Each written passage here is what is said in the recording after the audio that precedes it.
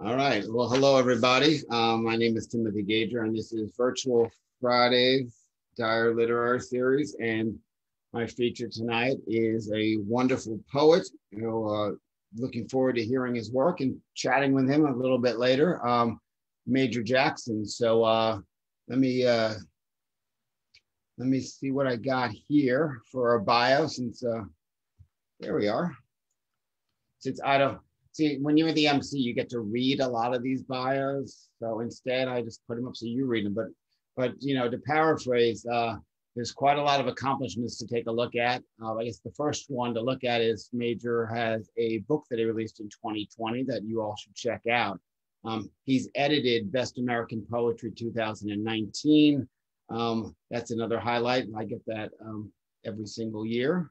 Um, you know, just a few minor things, uh, fellowships and Fine Arts Work Center in Provincetown, the Guggenheim Foundation, the National Endowment for the Arts, and the Radcliffe Institute for Advanced Study at Harvard University. Um, he actually, um, this is a bio that someone has actually been awarded a Pushcart Prize and uh, a Whiting Writers Award. But as you can see, um, those are just words in a bio. So I'm very, very honored and pleased to announce um, the man, Major Jackson.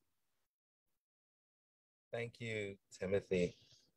And thank you for not reading all of those words. It can get pretty embarrassing at this moment in my life um, to hear all that. I love the introduction that he's a poet. That's pretty much what I heard there, and I appreciate that. Um, I have a computer that has no power cord right now, and I I drove to I'm en route back to Vermont, and I stopped at a uh, at a hotel and asked them if they had a spare Dell power cord, and they said yes. And so it's charged, but I'm not sure how much charge there is. But I'm, it's pretty funny there's other narratives to to my day that I I'll spare you. Um, in the spirit of the Dire reading series, and thank you, Timothy, for the introduction. I mean the uh, the invitation. Um, I get a sense of community and history uh, with the series, and I'm honored to be a part of it. So I'm gonna read some new poems and a few poems from the absurd uh, man. I'm gonna start off with um, this poem. Please correct me, someone. You know this painting. This is an ekphrastic poem. You know this painting. It features, um, it's in uh, the Louvre, Love Louvre, and uh, it, it features two men fully dressed in the woods having a picnic with a woman who's nude. And in the background is a woman who looks like she could be a classical Greek goddess washing herself, bathing. La déjeuner, de lip. Someone correct me. I feel like my my French is is reverted to high school. Anyway, I thought of that that um, painting and was thinking about the model that uh, I think it's Manet. It's the same woman who's actually in his other paintings, Olympia. Anyway, it occurred to me that most likely she's the model and who's also bathing. And, and, and, it, and it also occurred to me that most scholars have read it as two women. And it's possible that just the just the scene, the light around it, it could be a projection of herself, her seeing herself bathing. And it's written in her voice. Late summer, canopy lanes greener today. Light shafting a hole in dense foliage, wide enough to spotlight an impromptu stage where I rest as nature makes way for our ritual tiffin of Roquefort, bread, and grapes. Bored With men's chatter, I disrobe, and still they drone like professors. I have a mind to make a bed of this patch of earth, or the skiff that carried us over. Where might their eyes wander then? They pretend not to see what so makes me human, skimming past my words like my body. Leenhoff's hand, suggestive at my back, lingers, waiting for something to jump off. I have a mind to strike our tangled legs awake with the other's cane. We are all digits and lopsided triangles. I want to inhabit my own domain, a canvas of one. Nymph like, I picture myself ankle deep, bathing in forest water, unconcerned of their attention. No, I want to be heard. Okay, that's poem one. Thank you. Thank you. Very kind. And this is a poem that um, takes place. No, I won't read that. Here's a poem called Canceled, a phenomenon of early 21st century. Um, controversial though it may be, maybe a necessary uh, juncture in our lives for balancing power. Social media is really fascinating in that regard.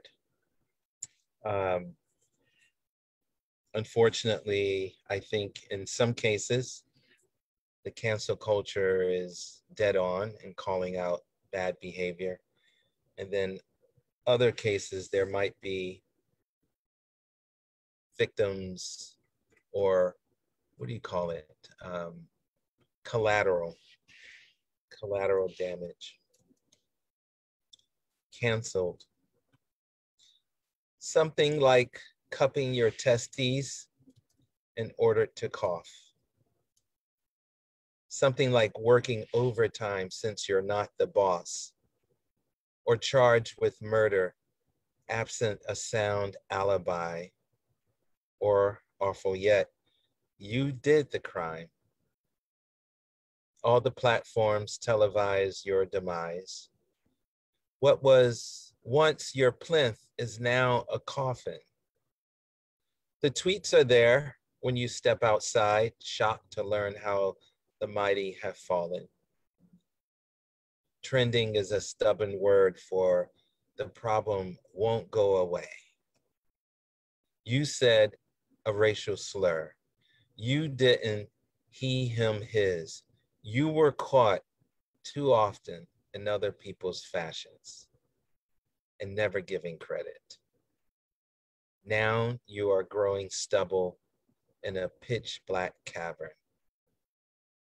No one cares you're dying a million hashtag daggers.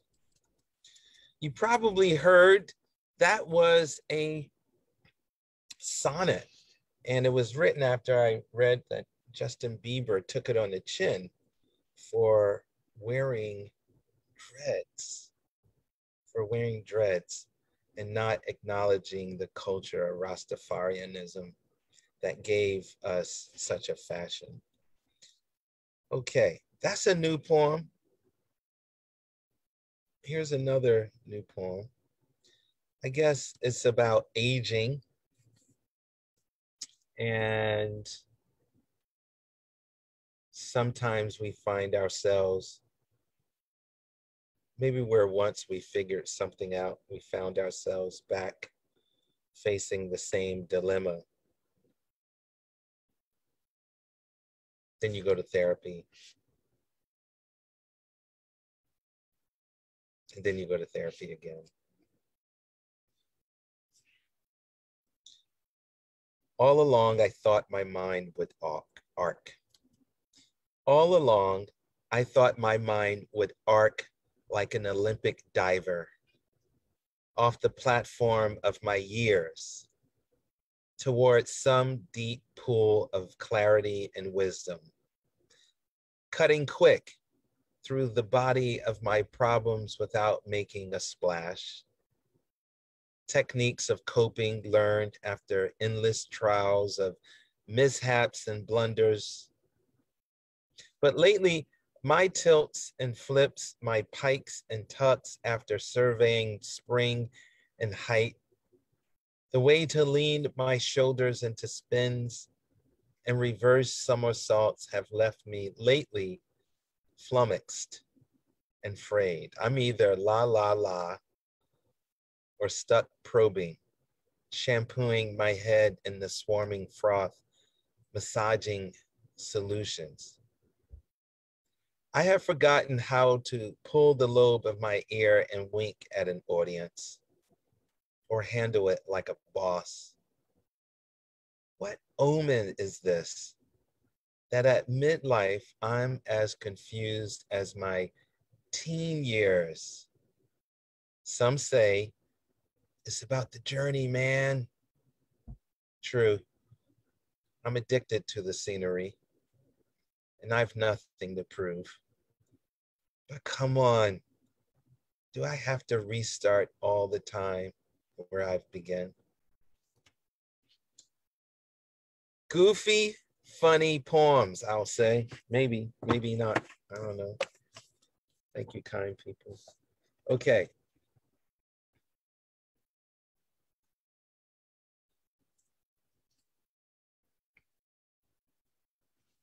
I'm gonna read some poems from uh, The Absurd Man, which published just before the pandemic, February 25th, 2020 to be exact. Um, and I've read a lot in these settings, in Zoom settings. And there's some poems I've read at least um, 50 or more times. I'm gonna try and read some poems I haven't read. I've said too much. I've said too much. The soil overruns with honey. Porch lights blaze into the afternoons. I find it difficult to control my idioms. Only ask which direction the wind blows, and I will give you a history of my elms in cottonwoods or my theft of fire. My brain plunders its orchid of speech. Watch the expressionist stains at the corners of my mouth, dark as blueberries, blossom into a symphony. I am too far from the land of hush to be useful. What is said must be said. So I say it. Inheritor of hieroglyphs and cave drawings, I keep the engines of hearsay fueled, an echo of the ancients, especially the sophists. Leave me with your griefs and barefoot secrets, and rest assured, I will secure your memory and your name. The tremble of a wave heading to shore will ricochet back into the deep sea of my sayings and bewilderments. Provide a backdrop of cheese and tapenades with a little Sauvignon from the Cederberg Mountains, and you can have a lifetime of constellations as you take in the great stone core at the Acropolis of Major, unyielding and slanting light, which is how the light is hitting me right now. I think that took care a little bit of. Here is a new poem. Um, it's called Let Me Begin Again. And it's about starting over again. Let me begin again. Let me begin again as a quiet thought in the shape of a shell, slowly examined by a brown child on a beach at dawn, straining to see her future. Let me begin this time knowing the drumming of my dreams is me inheriting the earth, is morning lighting up the rivers. Let me burn my vanities, old music in the pines, sifters of scotch, a day moon like a signature of night. This time, let me circle the island of my fears only once, and then live like a raging waterfall and grow a magnificent mustache. Let me not ever be the birdcage or the serrated blade or the empty season. Dear glacier, dear sea of stars, dear leopards disintegrating at the outer limits of our greed, soon we will encounter you only in motivational tweets. Reader, I should have married you sooner. This time, let me not sleep like the prophet who believes he's seen infinity. Let me run at breakneck speeds towards sceneries of doubt. I have no more dress rehearsals. Look closer. I am licking my lips.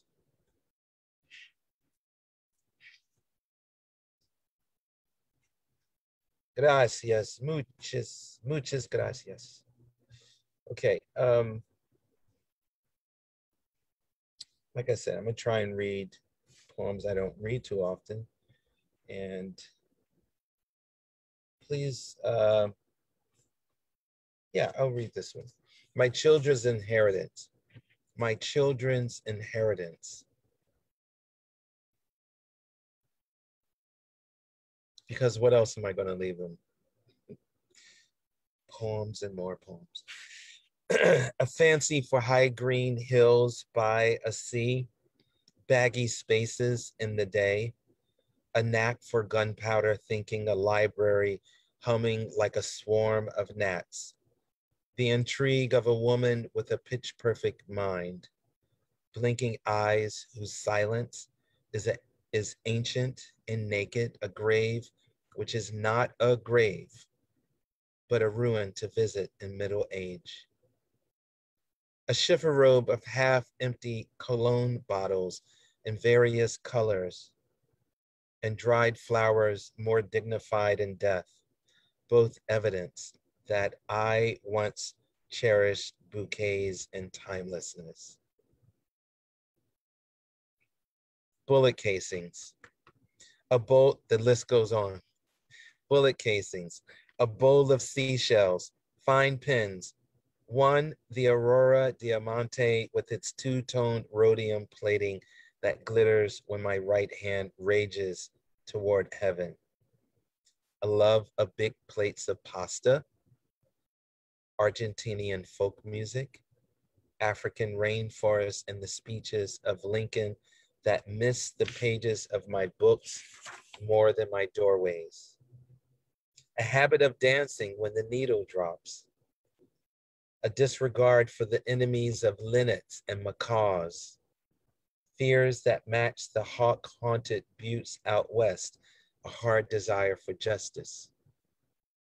The habit of lip biting when trouble nears, the way my mouth opens like a flower, my quiver of arrows that outweighs the world leaving the animals to bear witness.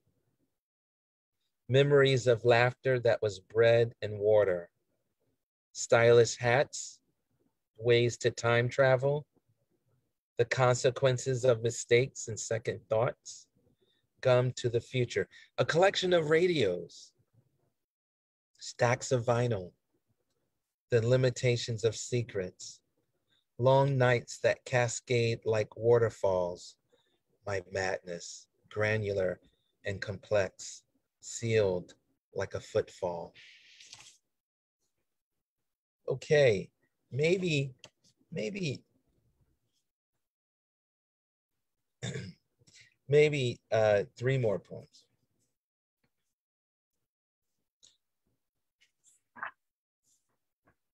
Now that you are here, I can think. Now that you are here, I can think the mainland of your feelings, a young Veronica Webb, and what we share are solutions. And not so much the Parisian air you tired of, nor the sweaty bead coursing a décolletage, an unlikely consequence of the Kyoto Protocol, but the pleasures of lounging below French style windows, open wide as arms, whose blousy curtain is a shawl that formally hangs and informally shifts when you drift into the room like a Spike Lee dolly shot. The kids are dancing to some Ariana, but I'm watching what you do with your lips when reading silently around 4:22 p.m. on a late Sunday afternoon. I have a weakness for marble winding stairs and tight two-person brasseries. I'm sorry, and tight two-person elevators. But the brasseries are waiting, as well as the football fans who need help cheering. For we are Americans after all, and are ready to hype even the locusts on the day of judgment. I don't care about the midfielder or the winger. You're smiling, and that's all the defending I'll ever need. Oldie, but goodie, as we say. Okay, I said three more. So that was two. And here is the next one. It's called um, Double View of the Adirondacks as reflected over Lake Champlain from Waterfront Park, which is in Burlington. the mountains, I'm not sure. Well, you know, you've seen the Adirondack Mountains at, some point, I hope. The mountains are at their theater again, each ridge practicing an oration of scale and crest. And the sails performing glides across the lake complain for being outshadowed despite their gracious vows. 13 years in this state, what hasn't occurred? A cyclone in my spirit led to divorce. Four books gave darkness an echo of control. My slurred hand finding steadiness by the prop of a page, and God, my children, whom I scarred, pray they forgive.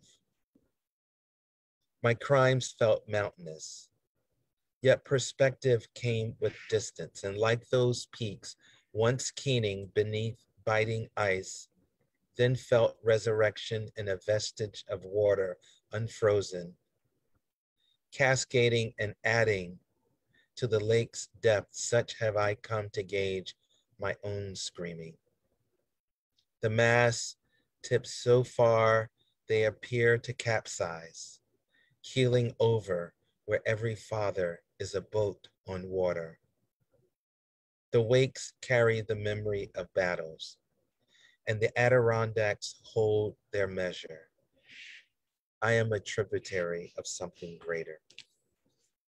Last poem, people. Thank you. Thank you. Okay. Let's see. Uh,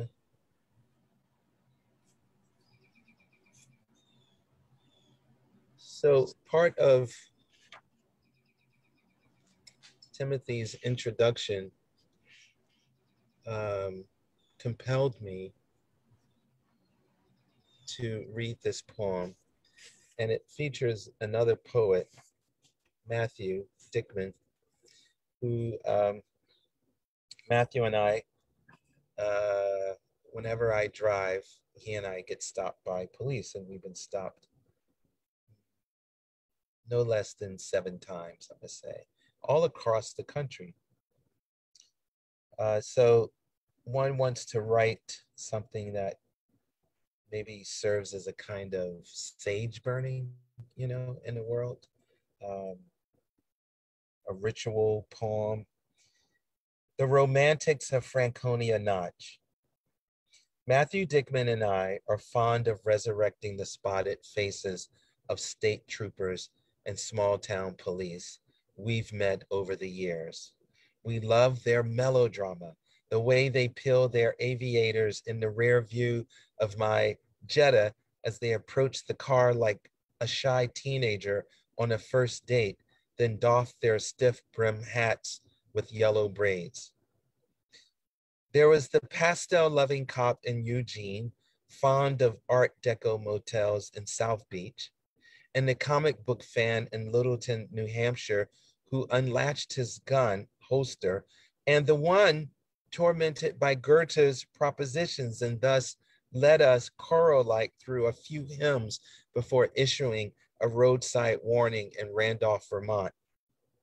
When they ask us where are we going, we almost always respond to the town square, of course, to give the park back to the wretched men and their brown bags of sorrow and needles, which turned them to black puddles. We want the crime squad to know we have a purpose, that we sugar our hopes with the honey lines of Brodsky and Pessoa and Thoreau, whom we were declaiming just that moment, zipping in the dark past low lit colonials, when a black bear jumped out, as though chased by the ghost of the bear he used to be. And Matthew turned up Jay Z's Black Album so he'd get a boost and lurch into further darkness. Thank y'all for listening to those poems. Very kind. Wow, thank you, Major. What a fantastic uh, reading.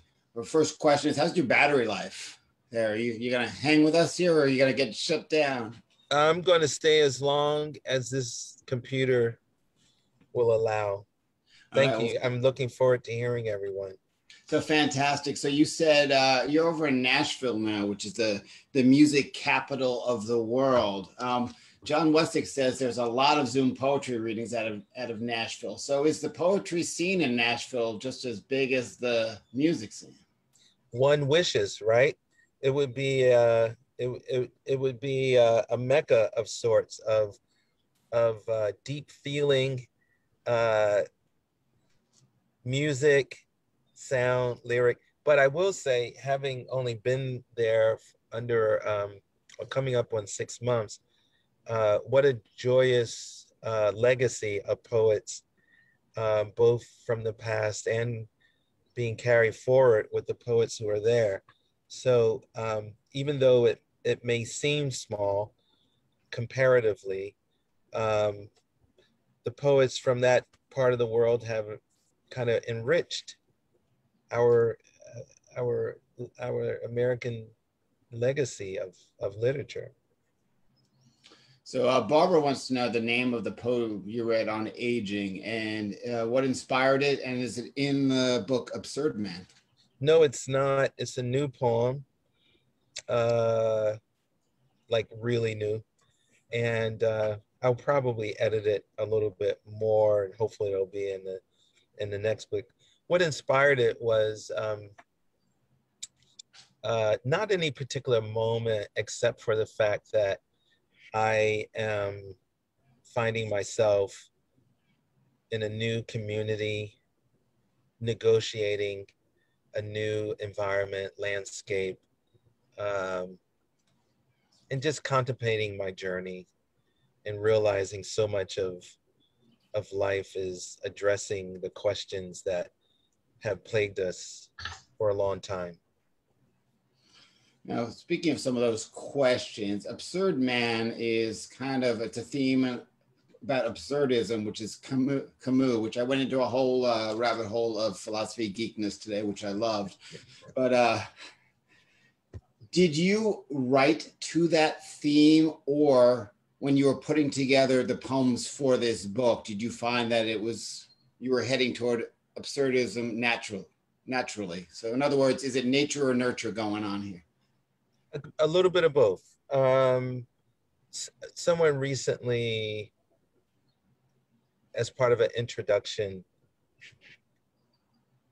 went into my earlier books and saw this through line, this thread of me speaking back to philosophers. And as you know, um, one of the big three cast us out of his ideal republic throughout the the poets. And i think subconsciously we're all into some some extent claiming ground and and territory. There's a there's so much as keats says beauty and truth um, in poetry. And i think we want to kind of claim some of that. My my with this particular book it's it's chiefly owed to the fact that someone i dearly love um, experienced the loss of a partner or spouse to suicide. And suicide was a very central theme in Camus' The Myth of Sisyphus.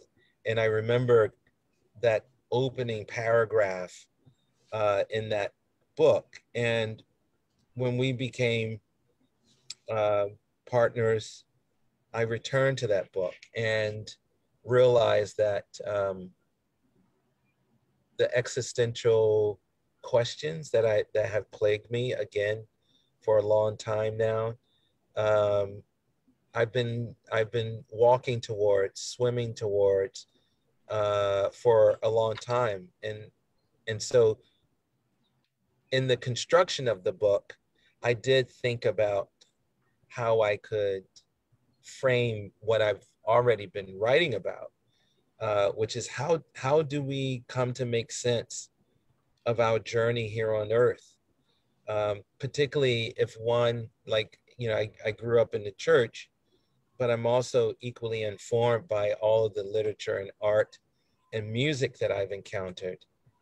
Has it lessened, and it has lessened, it's given me solace to be both a writer and someone who believes in the centrality of, of human expression.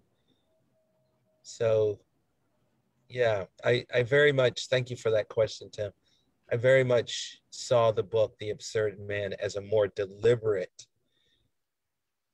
architecture that wants to occupy that space. All right. And uh, with with that also, I mean, part of the philosophy is it's embracing the absurd condition of human nature. And it's not necessarily absurd like wacky and crazy. It's kind of the right. meaning of life versus the lack of meaning of life. But you know if you were writing these poems from 2016 to 2020 do you feel you had plenty of material there? Very good. Very very good question. In fact a friend of mine who's a poet um, i would say maybe a little bit more of a poet of social critique, uh, a political poet. Uh, when she heard the title of my book, she instantly thought um, the 45th president. And oh, that's the absurd man. And I would say, oh, I wish I was that that imaginative um, to have thought of that. But I welcome I welcome the the interpretation of these spot these poems as a response to the moment that we're living. Who has not been shaken out of their relative comfort of we've made great political progress in this country? Um, so there's there's something about the level of nostalgia that comes with it. I think a disregard for humans that um, we saw with the last administration that made it okay to be anti-Semitic, made it okay to be um, anti-woman, a woman's body is for grabbing, that made it okay to be racist or to valorize a history of disregard. I'm just going to say that anti humanism, anti life. Uh, I'm going to jump to when you edited Best American Poetry. Here's a good chance to get some good plugs in for your friends, but you don't have to. Um, when you edited that volume of, of great poetry, did you learn of any new poets that, you know, just sort of became like almost go tos? Uh, yes, I did, and I'm I'm sorry my my brain is so full of the of the days, but there's there's a poem in there entitled hashtag Me Too.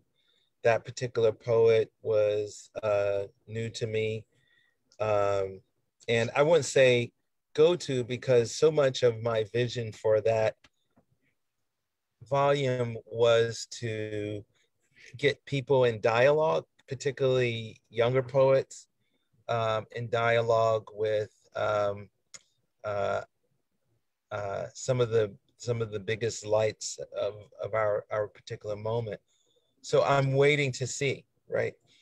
Um, yeah, there, there's, I think Rebecca Lindenberg, whose work I knew of, of course, but um, gosh, her poem I think is so important right now, enormously important as we contemplate the the fate of the environment, our inability to pay attention.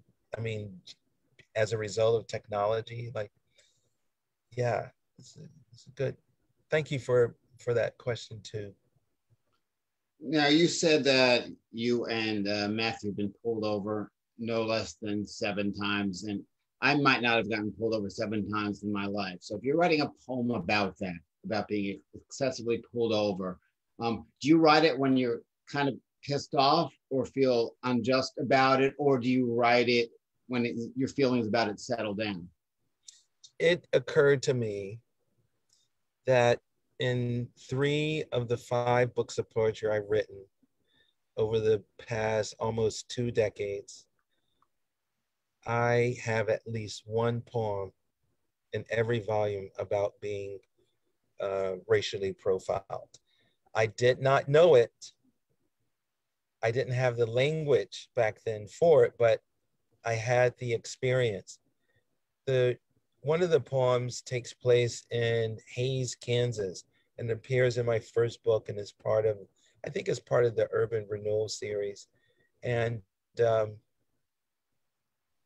that one was written as the policeman was writing up my ticket. Like I started that poem right there in the car. I was driving cross country to Oregon to go to graduate school.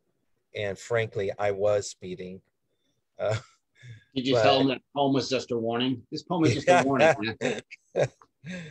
and what was fantastic about that moment was, uh, well, what, what wasn't fantastic was the, the exchange, which I didn't put in the poem. But the fact of the matter is, I knew that poem needed I needed to I needed to get it out at that moment. That writing that poem maybe saved me from it maybe maybe kept me alive in a way because I could direct that energy of frustration. Um, another poem I called Pest references at the time he was the senator from Delaware. I now he's our our president, but I, I mentioned the senator from Delaware. Anyway, the crumbling of a nation, I, if I remember what that poem, remember that poem. But um, no, I don't write it. And even with Matthew, it was a series of revisiting. Remember that time when we were driving after a night at the bar and that cop pulled you over. And always, you know, if you know Matthew, he's far more charming than I could ever be. And, uh, you know, we suddenly learn about cops' passions, you know, what, what are their hobbies? And that's included in the poem, you know, in the sly ways, you know, the, the, the pastel loving cop, i.e., who loves to go to Miami. I think that was an exchange. Anyway, we have a frozen. I hope his power just didn't go. So I had, a, great question. Let's see what we can do for a few sec- seconds here. Do people freeze when their battery power ends? Well, I might give it five more seconds or 10 more seconds because this is a wonderful uh, reading by Major Jackson and also his uh, questions and answers were pretty fabulous as well. Um, uh, maybe when he comes back, well, we can just thank him. But I think I'm going to sign off on the live Facebook because that's kind of what we're doing, unless he comes back.